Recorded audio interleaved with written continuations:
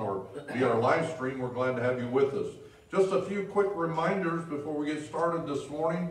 Uh, today, of course, is Family Day, and you know the routine for that. We have carrying dinner after the second service. Everyone is invited to that. Uh, also, I need to note that I need to meet with the deacons for just a few minutes after the carrying dinner. Also, today we're kicking off, uh, we, we call a special meeting, but it remains to be seen. Uh, we have an evangelist here this morning, and Brother Tulley, a good dear friend, and we're trusting that God will use him. Uh, because we say we have a revival meeting doesn't mean we have a revival. So right. we're, but we're praying that way that God will do something special in hearts.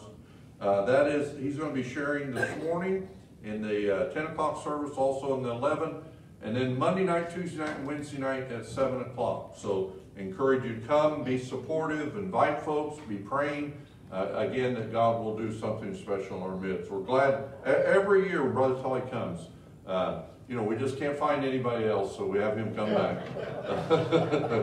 now, he is a, a, dear friend, a real, I don't know, you know, I, I don't know what other people receive, but I'm always blessed and encouraged when he comes. Just a good preacher, faithful to the word, uh, doing a good work, and, and it's just good to see people just Staying right in there. Now, we had to cancel this meeting twice.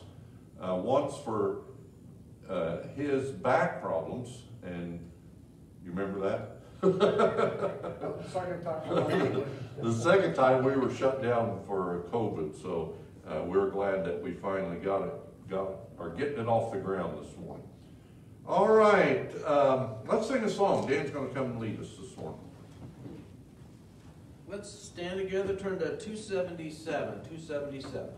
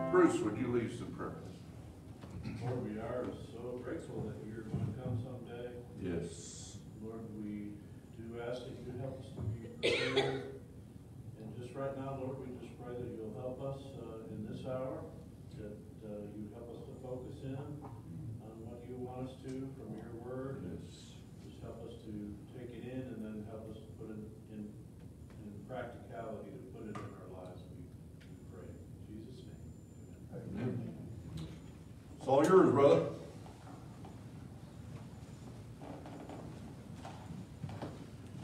That's got to be the most flowery introduction I've ever had. I already said all that stuff. It's all yours, brother. I was in a church in Crosby, Texas. The pastor down there was an old World War II Iwo Jima vet. I don't know what that's for. I'm glad you pointed it out. I Need to turn that on. And I, um, he, he just sort of, his, he was from the old school. I mean, he was older than the old school. He'd sit over there on the platform. When it came time for me to preach, here's how he introduced me. That's all. Just a wave of the head.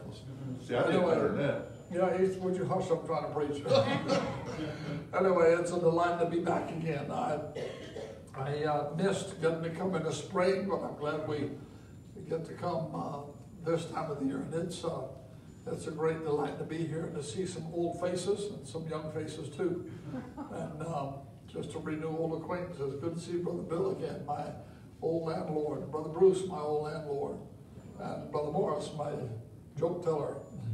I hope you still take the offering because I need some new uh, humorous sermon illustrations. Preachers don't tell jokes. We tell humorous sermon illustrations. Open your Bibles this morning, please, to John chapter 4. Matthew, Mark, Luke, and John. Hold my horse till I get on. John chapter 4. And, um, Pastor, the books in the Bible are not in alphabetical order. You have to know where it is. John chapter 4. Help me. Do you? I can't.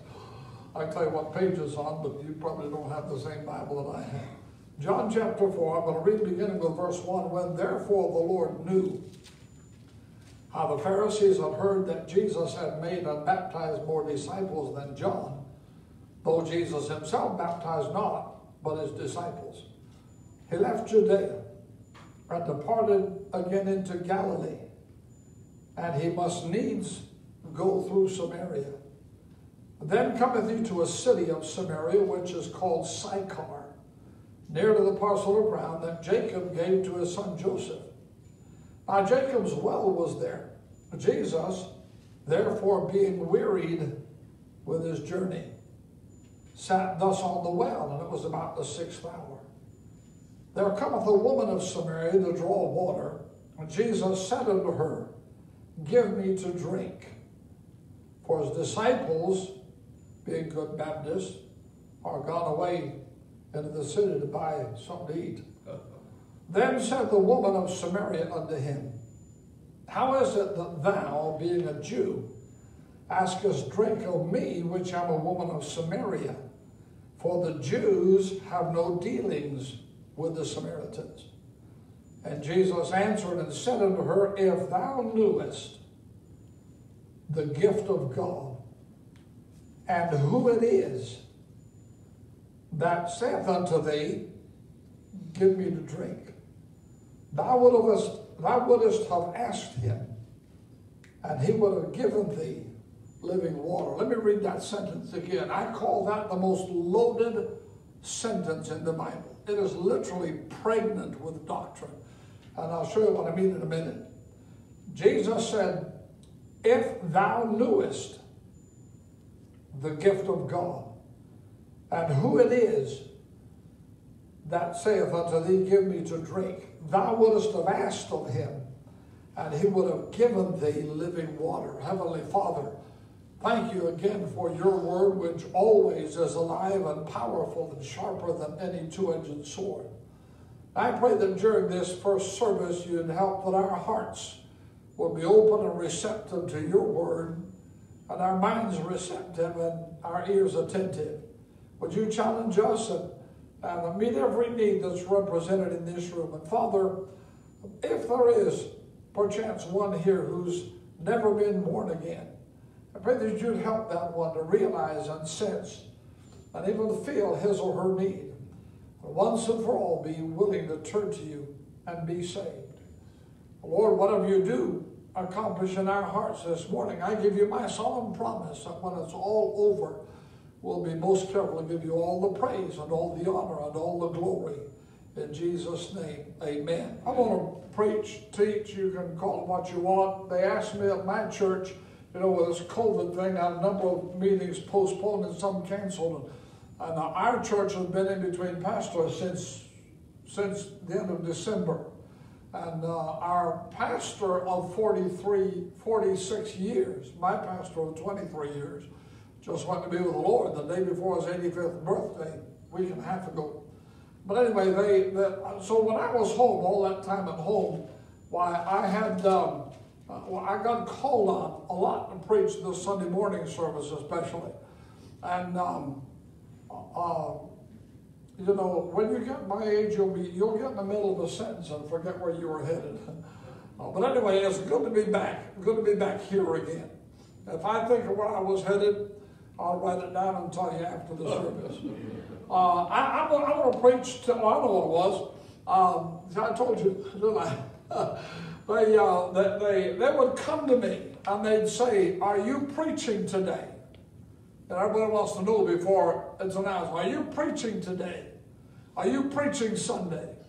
And I tell them, let's wait till it's over. We'll decide what to call it then. and uh, well, we're going to do that this morning. I don't know if this is going to be called teaching or preaching. Now, I apologize for the raspiness of my voice. Not an awful lot I can do about it. I was in a meeting in um, Ruckersville, Virginia.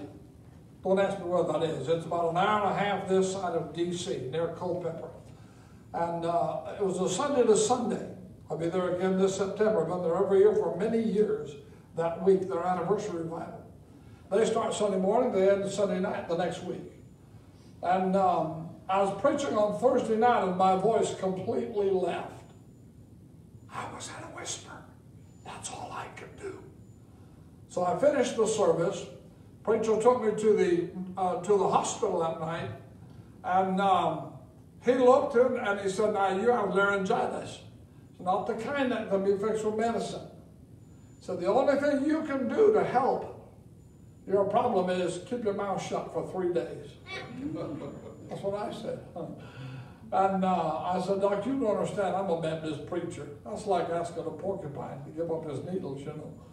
And uh, so he said, well, it's the only cure. So they got somebody else to preach for me on Friday, and they canceled the service on Saturday. And I whispered through the services on Sunday. And um, but anyway, so that's that, that's the reason for the raspiness. Some places I go, they don't have a good sound system. I get a handheld mic. This morning, I want to teach a lesson, if you please, on on the most the most um, the fullest and the most uh, loaded statement in all of the Bible. Uh, usually when you make an announcement like that, I think you're going to preach on John 3.16. Well, that's the most popular one. When I say the most loaded, I do not mean to, to uh, disparage any parts of the Bible. It's all the Word of God. It's all loaded. Amen. Even those weird names uh, in the Old Testament, they're part of the Word of God just as much as any other part. Uh, and I understand that. But I, this particular sentence, and we just read it, is literally pregnant with the doctrine of soteriology. That's a big word. What does it mean? I don't know. You know, if, if, if just every now and again the preacher has to throw out a big word to make him look smart. Uh, it means the doctrine of salvation. And this sentence is loaded with it. Now in the text, Jesus and the disciples are going from the region of Judea, which is the southern region, up to the region of Galilee, which was the northern region where he spent most of his time in the ministry, and for that matter, where he grew up. And those two regions, Judea in the south and Galilee in the north, are separated by Samaria, the area, the region of Samaria. Normally, in fact, in other occasions when Jesus went from Galilee to Judea, the Jews would cross the river, the Jordan River and they traveled as far as they needed to go and cross the river again, just to avoid facing the Samaritans. The reason is the Samaritans were not real Jews. They were not full-blooded Jews. They were half-breed Jews. During the Assyrian captivity, the, the Jews that were in that area mixed with the Samaritans and marriage produced a half-breed race and so on. Uh, and because there was animosity between the two, the Jews would often avoid that area even if they had to go way around. Now, listen carefully, from central Judea straight through Samaria to, to central Galilee, about 80 miles. Now, they traveled in that day mostly by Shank's pony, as on foot. Uh, and uh, that's a, that's a good, a good eight days. Uh, excuse me, that's a good, yeah, that's a good uh, four, four, four to eight days journey. Not how fast you can walk. Uh, from from Judea uh, just to the Bible says that Jesus felt impressed, felt a need to go through Samaria this time. Normally, even he and the disciples would go around. It says Jesus must needs go through Samaria. I, am fully convinced that in his omniscience, he knew that there was somebody that he'd run into who was ready to be saved. Amen. And so he must needs go through Samaria. When they got to the city of Sychar, outside the city was a well. It was noon, midday. And a woman of ill repute, and that's all that I'll say about that, came out of the city to the well to draw water. Our women did not go to the well the, at noon or in the afternoon. They went early in the morning. I don't know if that's where the old codgers of McDonald's picked up the idea of you know, gathering to do their little morning gossip over some real strong coffee or not. But it was sort of like that. However, she wasn't welcome with them.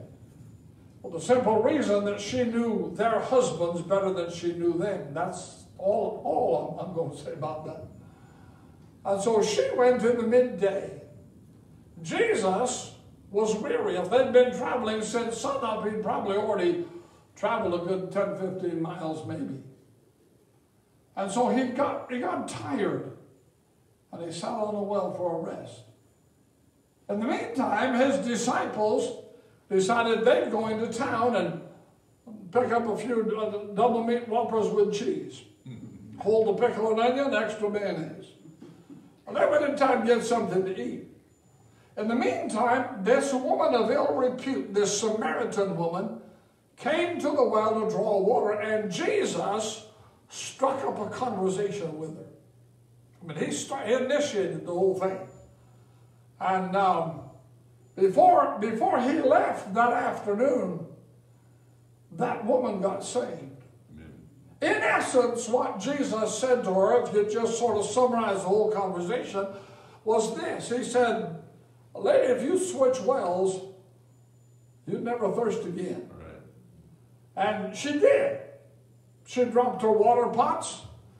Her little Samaritan legs carried her as fast as she could run into Sychar. She told all the men, all the men, do I need to say any more about that? She told all the men, I want you to come with me. I want to introduce you to somebody who told me everything I've ever done. Now, that wasn't the truth. He hadn't told her everything. She was exaggerating. But she was a woman. Don't be too hard on her. Leave her alone. I, I, yeah, a new pastor would say that because his wife's not sitting there next to him. Uh, the truth of the matter is, if Jesus had told you about some skeletons in your closet that he had no reason to know anything about, you'd have thought he knew everything too. And so she brought the male population of the town out to the well. And half of them, the scripture tells us, Half the male population got saved because of her own testimony. They saw her, they listened to her, they watched her for a short while, and they detected something different in her. And they got born again. And though she could not win, she brought to a soul winner who could Jesus himself, and he did. Now, their conversation, let's back up the reel a little bit. Their conversation at the well began like this Jesus said, Give me the drink. His not retired, he's thirsty. Hot Palestinian sun. And she said, How is it? She recognized him to be a Jew. She said, How is it that thou, being a Jew, askest drink of me, which I'm a Samaritan? The Jews don't have any dealings with the Samaritans. I mean, surprised that you're here. And Jesus made the statement If thou knewest the gift of God and who it is that saith unto thee, Give me to drink, thou wouldst have asked him, and he would have given thee living water. Now, I'm sure there's much more than we're going to have time to bring out this morning, but I find at least seven major characteristics about the doctrine of salvation in that, in, in that statement alone. You know, you don't have to read in between the lines to get what Jesus was after. Uh, and here you don't really, it's right on the surface. All you have to do is stop long enough to think about it. Sometimes we're so quick to rush through a little Bible reading as though it were a horseshoe or a you know, four-leaf clover or a rabbit foot. So we'd have a better day. Sometimes you just need to slow down. Pay attention to what you're reading, what you're studying. This is an absolutely uh, pregnant with the doctrine of salvation statement. If thou knewest the gift of God, and who it is that saith to thee, Give me to drink, thou wouldst have asked it, uh, and he would have given thee living water. Now, I want you to know about seven things in that statement, and, and then we'll uh, give you a break. And uh, but if you try to leave during the break, your car will self-destruct before you. We've already fixed it. Uh, if thou knewest, uh, notice Jesus did not say if thou thinkest. He didn't say if thou hopest. He didn't say if thou surmisest. He didn't say if thou guessest. He said if thou knewest. Listen to me carefully. Salvation is sure. Amen. God does not offer a hopeful salvation. There's no such thing in the Bible. That's why I make, especially when I'm witnessing, sometimes when I'm preaching, I ask the question Are you 100% sure, for a Bible reason, if you died, you'd go to heaven? I mean, I try to keep the conversation down on their level. And, uh, you know, if they're honest, they'll either say, Yes, I am. If they're saved, or they'll say, No, I'm not something of that nature. You know, the Bible says in 1 John chapter 5 and verse 13, these things, the Bible, are written to you that believe. 95% of the Bible is written to believers, only about 5% unbelievers. Right. He said, These things I've written to you that believe, so that you, you who believe, might know K-N-O-W, not hope, not think, not maybe, not spit on the floor and slide under the door at the last minute. He said, I wrote these things so that you could K-N-O-W, know. That's 100% assurance. Amen. That you have, by the way, that's present possession. You, I've said this here before, I'm sure you do not get eternal life when you die. Right. You get it the instant that you place your faith and trust in Jesus Christ. God instantly places His life in you. Amen. Even get His nature. And I don't understand all the ramifications of that, but the Bible says you do. I'm saying, neighbor, and by the way, by the way, by the way, down I live, there's a whole bunch of folks who claim to be Baptists. Their, the national headquarters is 45 minutes from my house. But they, they, among other things, they deny the very clear Bible doctrine of eternal security. You study history. You will find that if you don't believe in eternal security, which is the clear Bible doctrine, historically, you're not even a Baptist. Sorry. Sorry, Charlie. Uh, the fact of the matter is, John said, These things have I written unto you that you might know that you have eternal life. Salvation is sure. So Jesus didn't say, If thou thinkest, or if thou hopest. He said, If thou knowest. God promised eternal life to all who believe. And in Titus, it even says, The God that cannot lie, not only does not lie, he doesn't have the ability to lie. Amen. His holiness, because he's holy. If thou knowest, salvation is sure. The gift of God, salvation is free. You know, we talk about salvation being a free gift, but the truth is, free gift is redundant, it's unnecessarily repetitive. I mean, if it's a gift, it's free.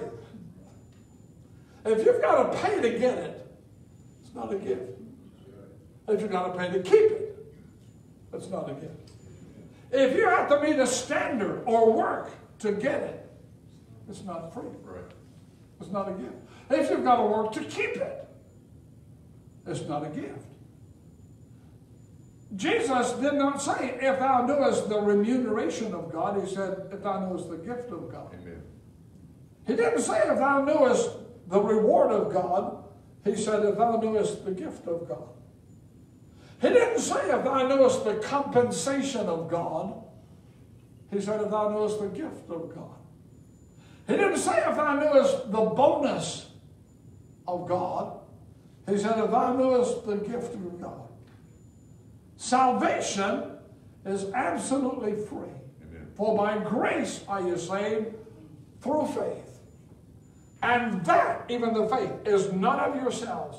It is the, even it, the faith is the gift of God, not of works, lest any man should boast. If you could, if you could merit one moment in heaven, you'd spend that moment walking around bragging on yourself. Right. Nature of the beast. Salvation is a gift. When Jesus died on the cross, he made seven statements while on the cross. Seven that are recorded in the Bible, might have made more. The first he made at nine o'clock in the morning when they were nailing him to the cross, and it was a prayer in which he called God Father. The fourth, or the very central statement, he made at three o'clock in the afternoon after the world had been drowned in darkness for three hours, just prior to the lights coming back on. And it was a prayer. But he couldn't call God Father. We'll talk about that later. At the end of his, at the end of the day, would have been four or five, maybe closer to six, somewhere right toward the evening. Jesus made this, he made another prayer, but it, the seventh, but the sixth statement of Jesus on the cross was three words. It is finished. Amen. It is finished. That means, neighbor, you cannot add to it. Right. You cannot even adorn it. You can't even pretty it up. When Jesus died and made the statement, it is finished, that's all there was to the payment for salvation. Of course, he was buried and rose from the dead for our justification. It is finished. Paid in full. That means you can't add to it. That means you can't subtract from it. Hallelujah. That means you can't multiply it, nor can you divide it. If thou knewest, salvation is sure. The gift of God, salvation is free. And by the way, that gift is offered to all. Can I use a Hebrew phrase? You don't mind, do you? I don't give a stink. It's Hebrew. What the Calvinists say, salvation, according to the Bible, is offered to everybody. Amen. Whosoever. I'm glad he said whosoever. If he'd put my name in there, would have left you out. Or whosoever. Even the last invitation of the Bible is for whosoever. Him that is athirst and whosoever. Sal- salvation is a gift that's offered to all. Amen. All men. Salvation is a gift uh, that cost you and me absolutely nothing. Not by works of righteousness which we have done, but according to his mercy, he saved us. So the first part of the sentence, uh, if thou knewest, salvation is sure.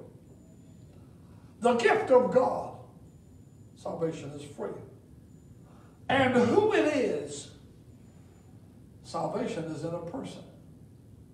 Salvation is not in a plan, it's in a man, the man Christ Jesus. Salvation is not in a program, it's in Jesus Christ. Salvation is not even in a prayer that you say, I double dog dare you find anybody in the Bible even prayed a prayer when they got saved.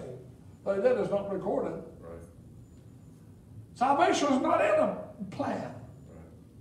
it's in a person. Amen. Salvation is not in a project, it's in a person. It's, it's entirely in the person of Jesus Christ. John 14, 6, you know the verse. Jesus said, I am the way, the truth, and the life. No man cometh to the Father. That's for salvation or thereafter. Nobody comes to the Father but by me. Jesus is not the way shower. He's the way. Amen. Jesus isn't the truth teller. He is the truth. Amen. Jesus is not merely the life giver. He is the life. Amen. Jesus is the way. Without him, there's no going. Jesus is the truth. Without him, there's no knowing. Jesus is the life. Without him, there's no living. I'm saying, neighbor, salvation is in a person. Uh, Somebody says in our day, they say it more often. Well, you know, I, I believe in Buddha or I believe in Allah. It doesn't really matter what you call him. Oh, it does matter what you call him. That's Hebrew too. Yeah. It doesn't matter what you call him. The Bible says, They that know thy name shall put their trust in thee. The Bible says in Acts 4:12, Neither is now salvation in any other, for there is none other name under heaven given among men whereby you must be saved. It doesn't matter what you call him. Amen. It doesn't matter who he is. If thou knowest, salvation is sure. The gift of God, salvation is free. And who it is, salvation is in a person. That saith unto thee, Give me to drink. Salvation begins with a thirst. You will never be saved until you're thirsty for it. Well, that's just a sidestep way maybe of saying under conviction. You know, down I'm from, they talk about a lot about you got to be under conviction. You got to have. Con- and I understand what they're saying. The Bible word is not conviction. The Bible word is reproof. Yep. I mean, every, everybody's convicted, Uh, but the trouble is most of them don't feel the reproof of being convicted. Um, but the fact is, uh, you got to have it. Nobody come. No. In the last invitation of the Bible, and and it's in Isaiah 55 1 as well, last invitation of the Bible says, He that is thirsty. Jesus said, If any man thirst, let him come to me and drink. John chapter 7, I believe, 1. There's a thirst involved. But you know something? God thirsted for you to be saved long before you did. That thirst begins with God. God said, I have no pleasure in the death of the wicked, but that the wicked should turn from his way and live. Jesus held his, from the hillside, his arms up toward Jerusalem and cried out, Oh, Jerusalem, Jerusalem, how oft will I have gathered thee?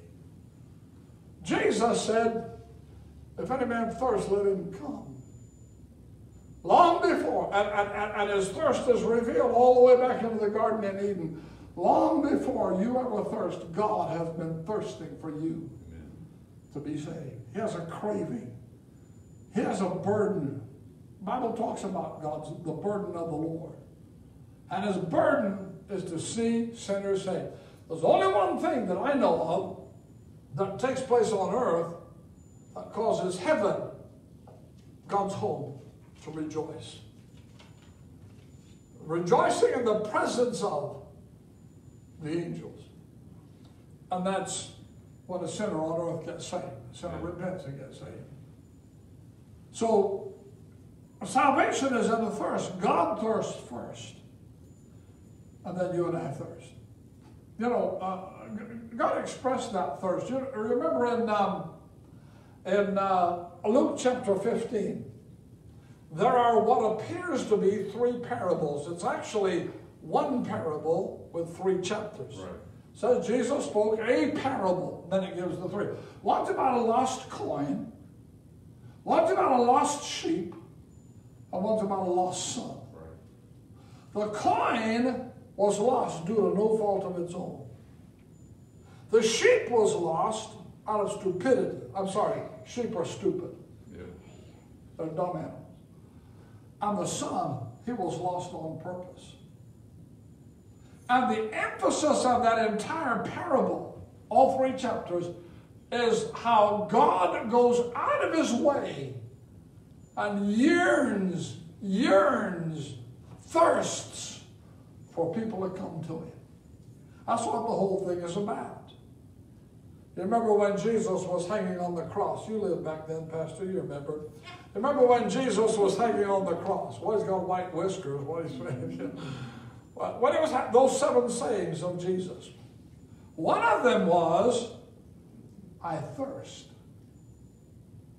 Now, naturally, he wouldn't be thirsting. He'd been on the cross already for five or six hours at least.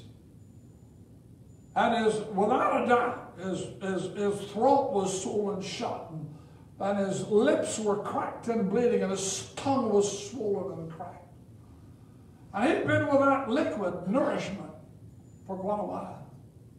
And he cried out, I thirst. But I'm convinced that he wasn't just thirsting for water. Without minimizing that, one thing is he was thirsting to be back in fellowship with his Father. I mean, all the way back, and I know this is violating what the word eternity means. We have to put it in the context of what we understand. All the way back in eternity past. From then until the incarnation, God the Father and God the Son had full, complete, 100% intimate oneness of fellowship Right. and communion. Then came the incarnation. Jesus left the presence of his Father, came to earth. He still fellowship with his Father on earth, but not like he did then. But now, on the cross, he's out of fellowship on your behalf and mine. Right. He has become our sins for us. Our sins were on his shoulders, they were in his body, and he became sin for us, 2 Corinthians 5.21. And I'm convinced that when Jesus cried out, I thirst, he was thirsty to be back in fellowship with his Father. Well, I can't help believe that he was also thirsty for sinners to be saved. Amen. That's why he was dying, wasn't it? Right. That's why he came to begin with. He came to seek and to save that which was lost. So Jesus cried out, I thirst. The thirst begins with God, but sinner, you have to thirst as well. Isaiah 55, 1, Ho, everyone that thirsteth, let him come and drink. Last invitation in the Bible, Revelation 22, 17. Let him that is athirst come. You'll never be saved. You'll never be saved until you want to be saved. You can go through all the polyphonic cracker prayers you want to because somebody else wanted you to do it or because your friend did it. But you'll never be saved. You know, we say, we say that one got saved, that one really got saved. That's the only kind of saved there is. You're either saved or lost. Either really saved or really lost. But you'll never be saved until you thirst, until you want to. If thou knewest salvation is free, the gift, excuse me, salvation is sure. The gift of God, salvation is free. And who it is, salvation is in a person. That saith to thee, Give me to drink. Salvation requires a thirst. Thou wouldst have asked him. Salvation's for the asking. I don't know why people, I don't know why people want to muddle the waters when it comes to salvation. You know, the Bible says uh, that it's a gift. Gift of God. Eternal life. Free. The fact is, if you could earn one moment in heaven, you, you'd go around boasting about it. You would. Nature of the beast. But when Jesus said, uh, Thou wouldst have asked him, he was illustrating that all you've got to do, if you believe, is ask him. Well, didn't the Bible say in John 1 11 and 12, or John 1 12, that if thou shalt receive, whosoever, how's that verse start? He came unto his own, and his own received him not, but as many as received him. How do you receive him? Ask him. Simple. Just ask him. You don't have to, you don't have to pray a flowery prayer. You don't have to show off a lot of theological knowledge. Just ask him. You might not even understand what you're asking for. But if you'll ask sincerely and believingly, he'll save you. Doesn't Romans 10 13 say, For whosoever shall call upon the name of the Lord shall be saved. If thou knewest, salvation is sure. The gift of God, salvation is free. And who it is, salvation is in a person. That saith to thee, give me to drink. Salvation requires a thirst, begins with a thirst. Thou wouldst have asked him. Salvation is for the asking. And he would have given thee. Salvation is promised. I like the way Titus put it, or Paul did rather, to Titus. He said, The God that cannot lie, the God that cannot lie, has promised eternal life. He can't lie. You know, if, if you've asked him, God don't lie. God don't lie. That's pretty good Hebrew too, isn't it? Salvation is for the asking. Uh, and then, quickly, eternal, uh, uh, he, he, said, thou wouldst the master. he would have given the promise, uh, living water. Salvation is eternal. Living water, living water satisfies a thirst in your life. And it settles your eternal destiny.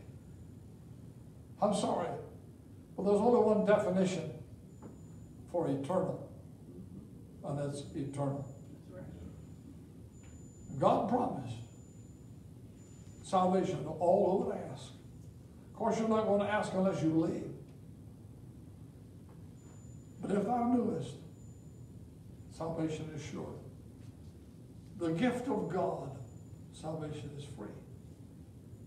And who it is, salvation is in the person. That asketh of thee, give me to drink. Salvation begins with a thirst. Thou wouldst have asked me. Salvation is for the asking. And he would have given me. Salvation is promised. Water, living water. Salvation settles a thirst. Now, if you haven't done it before, I hope and pray that you respond the way that woman did. She believed. Her prayer, if she even prayed, is not even recorded. But she trusted Christ. And when she got home to all those former business partners, boy, you talk about politically correct they immediately recognized the big change in her. She didn't even have to have a Romans Road soul winning course. She just said, Come on, I got to introduce you to somebody who told me, surely he knows everything. I don't know what else she said, if anything. But notice her response to the whole message of Jesus was she got saved and she immediately set out to tell others what had happened to her. Heavenly Father, thank you for your word, which is alive and powerful and, uh, able to do what only you can do. I pray that if there is one here today who's not saved, you'd help one understand and see and feel their need. Be willing to turn to you and be born again. I pray that you'd have your will done. Bless the service to follow. In Jesus' name, amen. Now you notice Pastor